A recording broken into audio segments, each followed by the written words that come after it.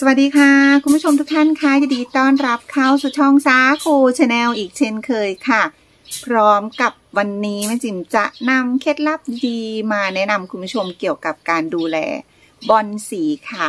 มีคุณผู้ชมเข้ามาสอบถามแม่จิ๋มนะคะ ว่าแม่จิ๋มทำยังไงเนาะบอนสีถึงจะเป็นทรงพุ่ม แต่กอสวยๆเป็นของแม่จิ๋มทำไมไม่ยุบเลย เพราะว่าช่วงนี้นะคะ เริ่มที่จะใบยุบนะคะ พักหัวกันบ้างแล้วนะคะ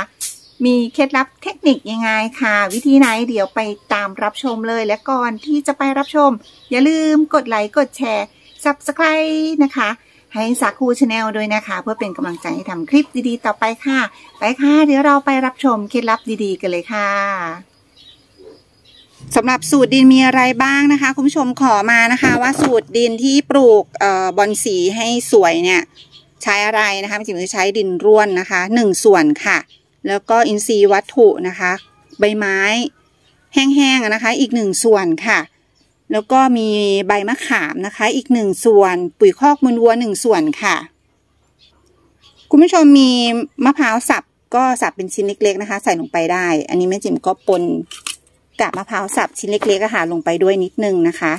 มีใบก้ามปูนะคะ คุณผู้ชมจะใช้ใบมะยมก็ได้นะ ใบมะยมแห้งๆอะสับให้เป็นชิ้นเล็กๆนิดนึงเขาจะได้สับ ให้เป็นชิ้นเล็ก ๆ นิดนึงนะคะ เพื่อที่จะให้เขาแบบว่าย่อยสลายได้ง่ายเนาะได้เป็นปุ๋ยเร็วๆค่ะ อันนี้ก็คือใบมะขามนะคะ ที่ม่จิ๋มผสมไว้แล้วกับมูลวัวเก่านะคะ อย่างละหนึ่งส่วนเทลงไปเลย ใบมะขามเขาจะช่วยให้บอลสีของเรานะคะ มีสีสวยๆค่ะปุ๋ยคอกมูลวัวเขาก็มีธาตุอาหารหลักอาหารรองนะคะ คุณผู้ชมมีไนโตรเจน ฟอสฟอรัส โพแทสเซียม แมกนีเซียม แคลเซียมธาตุเหล็ก สังกะสีโบรอนนะคะ ก็ทำให้ต้นไม้หรือว่าบอลสีของเราโตเร็วนั่นเองนะคะ แข็งแรงด้วยอะได้แล้วได้สูตรดินแล้วนะคะ ทีนี้เราก็มาทำฮอร์โมนนะคะ กระตุ้นการแทงหลอดแตกกอให้หัวใหญ่ ๆ กันเลยนะคะ ก็จะมีน้ำซาวข้าวนะคะ 3 ลิตรค่ะ มีกะปินะคะ แล้วก็มีผงชูรสค่ะยี่ห้อใดก็ได้นะคะคุณผู้ชม ในกะปีนะเขาก็จะมีสารไซโตไซนีนเนาะช่วยกระตุ้นการแตกยอดแตกใบ แตกตะข้างแตกตาดอกนะคะ ใช้ไปเลยนะคะ 1 ช้อนโต๊ะค่ะ คุณผู้ชมหนีละลายในน้ำก่อนนะคะ หรือว่าจะใช้น้ำสาวข้าวนะคะ ละลายเลยค่ะ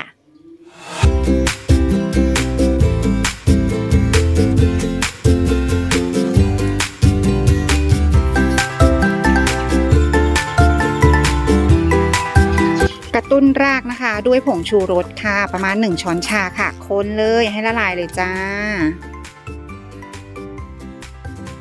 ส่วนอัตราการใช้นะคะ ใช้ต้นละกระถางละแก้วถึง 2 แก้วได้ค่ะ หรือว่าคุณผู้ชมจะใช้ผสมกับน้ำนะคะ ใส่บัวรดน้ำลดได้เลยนะคะ ต่อน้ำ20 ลิตรค่ะ บอลที่บ้านไม่จิ๋มไม่ใช่ว่าจะสวยทุกต้นนะคะ คุณผู้ชม มันก็มีพักหัวยุบตัวบ้างนะคะ นี่อย่างกระถางนี้นะตอนแรกก็สวยมากเลยเป็นกระถางที่ใหญ่มาก อาจจะเป็นที่สถานที่ตั้งด้วย เพราะว่าเวลาเขาเปลี่ยนฤดูใช่ไหมคะ อากาศเริ่มร้อนอย่างเงี้ยจากที่ที่เราตั้งเราไม่จิ๋มไม่ได้ย้ายไงใบเขาก็เลยเริ่มยุบไปนะคะ แต่ก็ยังมีหน่อใหม่หลอดใหม่งอกออกมานะ สีก็ยังสวยจ้านี่เห็นไหมคะ เต็มใบเลย มีวิธีแก้ไขนะ ถ้าคุณผู้ชมมีบอลสีที่กำลังที่จะยุบนะคะ แล้วก็พักหัวแบบนี้มีวิธีแก้ไขง่ายๆค่ะ มาค่ะเดี๋ยวเรามาแก้ไขแล้วก็ทำพร้อมกันเลย ก็จะมีบอลสีสวยๆนะเป็นพุ่มแบบนี้กันทุกคนเลยจ้า ก่อนอื่นที่เราจะไปทำกันเนาะว่าทำยังไงให้บอลสีนะคะ เป็นฟอร์มใหญ่ๆกอใหญ่ๆแบบนี้นะคะ ไม่ถึงจะพาเดินชมนะคะ ที่สวนที่บ้านเล็กๆนะคะนี่ คุณผู้ชมเห็นไหมคะ ในอีหนาวนะคะเขาจะเป็นกอเป็นพุ่มแบบนี้ตลอดเลยนะคะ ถึงแม้เขาก็จะมีใบที่แบบว่ายุบไป มันก็เป็นเรื่องปกติธรรมดานะคะ อย่างเงี้ย แล้วก็เด็ดออกนะคะ เพื่อที่จะให้ใบใหม่หลอดใหม่แทงขึ้นมาค่ะ ถ้าเรายังเหลือเขาไว้อยู่นะคะ มันก็จะไม่แทงหลอดขึ้นมานะ เพราะฉะนั้นต้องทำวิธีนี้นะคะนี่อย่างเงี้ย ไม่ต้องไปเสียดายนะคะ เดี๋ยวเขาก็งอกขึ้นมาใหม่ค่ะและนี่นะคะหลังจากที่เขายุบไปไม่นานเห็นไหมคะ ก็เริ่มที่จะนี่เป็นกอเป็นพุ่มอีกแล้วนะคะ เนี่ย นี่จะเป็นกลุ่มผักกันค่ะ คุณผู้ชมจากต้นใหญ่ ๆเขายุบไปต้นเล็กๆนะคะ จากเอ่อเขี้ยวเขาอะค่ะ ก็จะงอกออกมาเห็นไหมคะ ก็จะเป็นพุ่มแบบนี้เลยเนี่ยค่ะ สอพิญญานะคะ ใบใหม่ก็จะทดแทนขึ้นมาเรื่อยๆ ก็จะไม่มีการพักหัวหรือว่ายุบตัวเลยนะคะเนี่ยค่ะคุณผู้ชมเห็นไหมคะสีสดสวยมากๆเลย คุณผู้ชมก็ทำได้เช่นกันค่ะ ถ้าทำวิธีนี้เนาะถ้ากระถางไหนนะคะที่เริ่มที่จะพักหัวละ ใบเริ่มยุบบ้างแล้วนะคะ คุณผู้ชมก็ใช้วิธีนี้ได้เลยนะคะ หนึ่งกระถางนี้นะคะตาละแม่กุสุมาว้าวตอนนี้นะคะ โห ลูกดกมาก ๆเลยนะคะ เป็นพุ่มใหญ่สวยมาก ยิ่งปลูกยิ่งเป็นฟอร์มใหญ่สวยแบบนี้เลยนะคะ แล้วก็จะให้ดูกระถางนี้นะคะ อันนี้ก็ว้าวใกล้ที่จะเท่ากับกระถางแม่แล้วแม่จิมแยกจากกระถางนี้แหละนะคะเนี่ยมาเป็นกระถางนี้เห็นไหมคะคุณผู้ชมว้าว เริ่มที่จะแบบโอ้ยเป็นพุ่มใหญ่เหมือนกระถางแม่เลยเห็นไหมคะ ใช้เวลาแป๊บเดียวค่ะไม่นานนะคะคุณผู้ชมก็ทำได้เช่นกันค่ะ เดี๋ยวเรามาทำวิธีนี้กันเลย จะแนะนำคุณผู้ชมอยู่สองวิธีนะคะ ก็พอเขาจะยุบตัวเนี่ยพักหัวเราจะเริ่มรู้สึกเลยแหละว่าใบเขาจะเริ่มเบาบางลงนะคะ แต่ว่ายังมีหลอดนะคะขึ้นมาแบบนี้ ถ้าคุณผู้ชมไม่อยากจะควักหัวเขาออกมาผ่าใหม่นะคะ ก็ได้นะคะคุณผู้ชม วิธีที่จะทำให้เขาแตกกอเป็นพุ่มอีกครั้งหนึ่งโดยเร็วนั้น คือต้องพรวนดินค่ะ เพื่อระบายนะคะ คุณผู้ชมกบพรวนดินเลยเนี่ยมันที่แม่จิ๋มทำนี่แหละนะคะ เพื่อระบายให้ใต้ดินมีโพรงอากาศเยอะๆค่ะ แต่ก็ระวังนิดนึงอย่าให้ใกล้หัวเขามากนะรากเขาจะได้เดินดีนะคะพร้อมที่จะงอกออกมาได้ใหม่นะคะ เยอะๆ เป็นพุ่มนะคะ คุณผู้ชมนี่ แล้วก็กระตุ้นด้วยสูตรนี้เลยค่ะ ที่ทำไปเมื่อสักครู่นะ ลดลงเลยค่ะเกี้ยวเขาก็จะออกมาเยอะเขาก็จะมีหน่อออกมาใหม่เยอะค่ะ โดยที่เราไม่ต้องผ่าหัวค่ะ ไม่ต้องควักหัวออกมาเลยนะคะ ใช้วิธีกระตุ้นให้เขาแตกกอเร็วๆนะคะ สัปดาห์ละสองครั้งนะคะ คุณผู้ชมอย่าลืมนะคะ สัปดาห์ละสองครั้งค่ะ หลังจากที่เริ่มที่จะมีหน่อมีอะไร ผล่ออกมามีหลอดใหม่ ก็ใช้ห่างนิดนึงสัปดาห์ละหนึ่งครั้งค่ะ ผีเสื้อชมพูนะคะ ตอนนี้ใบใหญ่มากค่ะ คุณผู้ชมนี้เป็นใบใหม่ทั้งนั้นเลย คือเขายุบยุบตัวไปแต่ว่าแม่จิ๋มไม่ได้ผ่าหัวนะเพราะปกติแม่จิ๋มจะผ่าหัวนะคะ มันจะเร็วกว่า แต่อ่าใช้วิธีนี้ก็ได้เช่นกันนะคะลดเลย และที่สำคัญนะคะ ให้วางให้ตั้งไว้ในที่ มีแดดเสมอกันนะคะ คุณผู้ชมเข้าใจไหม คือถ้าลักษณะแบบนี้ได้ไหมของพี่จิมจะเอ็นเอียงมาทางนี้ ก็คือแดดมันมาทางนี้ไง ด้านโน้นมันร่มแดดไม่ถึงเห็นไหมคะ มันก็จะเหมือนแบบเอียงเอียงอยู่ซีกเดียวเนี่ยค่ะ แต่หลอดใหม่ก็ออกมาเรื่อยๆจ้านี่อย่าลืมใช้สูตรนี้กระตุ้นนะคะ อีกวิธีหนึ่งนั่นคือการผ่าหัวค่ะคุณผู้ชมอันนี้คือแม่จิ๋มผ่าหัวแล้วนะคะ แต่ว่ายังไม่ได้ย้ายกระถาง จะเลี้ยงในกระถางนี้ก่อน โอเคได้แล้วนะคะ กระถางนี้แม่จิ๋มจะปลูกในในกระถางนี้แหละ โดยที่ไม่ย้ายนะคะ แต่ว่ายังเห็นชิ้นเนื้อของหัวบอลอยู่นะคะ ก็คือมันตื้นเกินไปอะ่ะ เดี๋ยวเกิดเชื้อโรคได้ง่ายเนาะก็ตามด้วยดินที่เราผสมเมื่อสักครู่นะคะ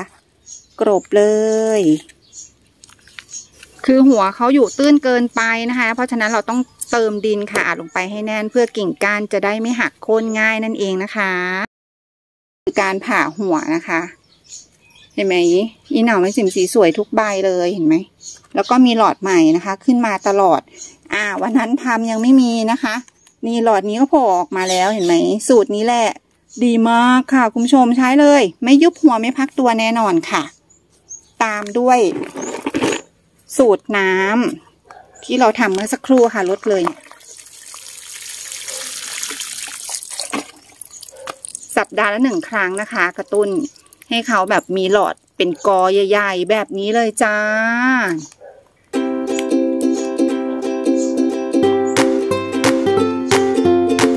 ถ้าดินเขายุบตัวนะคะ คุณผู้ชมอย่าอย่าลืมนะคะ เติมดินให้นิดนึง ดินน้อยเกินไปก็มีผลนะคะทำให้บอลสีเขาไม่ไม่แทงหลอดนะ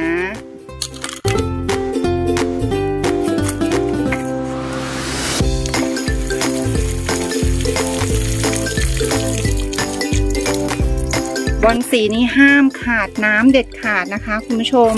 แล้วก็อย่าปล่อยให้ถาดรองจานรองนะคะ แห้งแบบนี้นะคะ บอลสีก็จะเหี่ยวง่ายแล้วก็ยุบตัวง่ายค่ะ เพราะฉะนั้นเติมน้ำในถาดรองจานรองนะคะ ให้มีน้ำตลอดเลย ส่วนคุณผู้ชมท่านไหนที่มียุง มาวางไข่นะคะ วิธีง่ายๆคือใช้ผงขี้เถ้านะคะโรยลงไปหรือไม่ก็ปูนแดงอะค่ะ ลงไปนะคะ ก็จะไม่มีละ หรือจะเป็นเอ่อเขาเรียกอะไรทรายอะค่ะ กันยุงนะ นั่นแหละ เอาลงไปด้วยเนาะเพราะว่าจะได้ไม่มียุงลายนะคะ เป็นอันตรายจ้าวิธีการรดน้ำนะคะ คุณผู้ชมมีเคล็ดลับง่ายๆนะคือให้เป็นแบบฝอยๆเล็ก ๆ เหมือนฝนตกละอองน้ำแบบนี้ค่ะบนสีของเรานะคะ จะแตกกอเป็นพุ่มดีมากๆเลยนะคะแม่จิ๋มทดลองใช้แล้วได้ผลจริงค่ะ ดีกว่าเราจะลดลงดินไปเลย หรือไม่ก็ใช้แบบใส่ยางนะคะ ลงแบบแรงๆค่ะคุณผู้ชมเนี่ยเหมือนเป็นวิธีการลดน้ำที่ถูกวิธีนะคะ เป็นสปริงเกอร์ค่ะคุณผู้ชมอีกแบบหนึงนะคะ แต่อันนี้เราใช้แบบใส่ยางเนาะแบบนี้เลยเนี่ยค่ะ ใบแล้วก็กิ่งก้านเขาก็ไม่หักด้วยนะคะ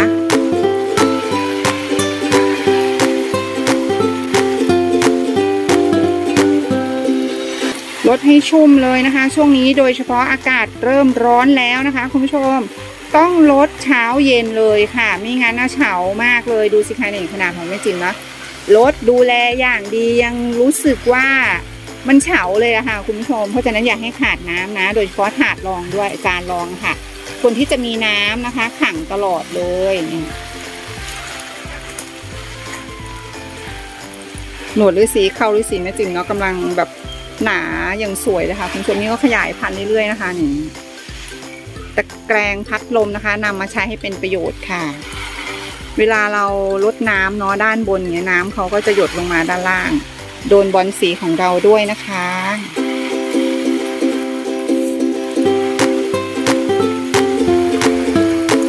และนี่ก็จะเป็นเคล็ดลับเล็กๆน้อยๆที่นำมาฝากคุณผู้ชมนะคะ ที่รักการปลูกต้นไม้ รักการปลูกบอลสีนะคะ อยากให้สวยให้แตกกอฟอร์มใหญ่ๆเป็นพุ่มนะคะถ้าทำตามที่แนะนำค่ะคุณผู้ชม สวยงามทุกคนทุกต้นเลยจ้า เป็นยังไงกันบ้างคะคุณผู้ชมไม่ยากเลยใช่ไหมคะสำหรับวิธีการบำรุงดูแลบอนสีไม่ให้พักหัวไม่ให้ยุบตัว คุณผู้ชมก็สามารถทำได้ทุกท่านเลยนะคะ ถ้าปฏิบัติตามนี้เนาะคุณผู้ชมก็จะมีบอนสีสวยๆตลอดทั้งปีเลยค่ะแม่จิ๋มหวังว่าคลิปนี้น่าจะมีประโยชน์สำหรับคุณผู้ชมทุกท่านนะคะ และก่อนจากกันอย่าลืมกดไลค์กดแชร์ subscribe สาคู Channel ด้วยนะคะ วันนี้ขอบคุณคุณผู้ชมทุกท่านค่ะที่รับชมพบกันคลิปหน้าสำหรับวันนี้ สวัสดีค่ะ